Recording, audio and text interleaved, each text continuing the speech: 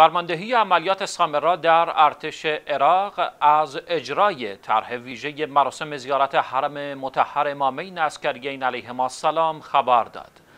به گزارش شیویوز به نقل از خبرگزاری رسمی عراق اماد از زهیری فرمانده عملیات سامرا در این باره گفت فرماندهی عملیات سامرا برنامه ویژه خود برای برقراری امنیت مراسم عزاداری در آستان مقدس اسکریین را در سال روز شهادت امام هادی علیه السلام نهایی کرده است. او گفت این طرح شامل تقویت فرماندهی با پنج یگان یک هنگ نیروی انتظامی و چهار شرکت تأمین مالی است. علاوه بر آن پشتیبانی عمده از وزارت کشور از طریق نیروهای پلیس راهنمایی و رانندگی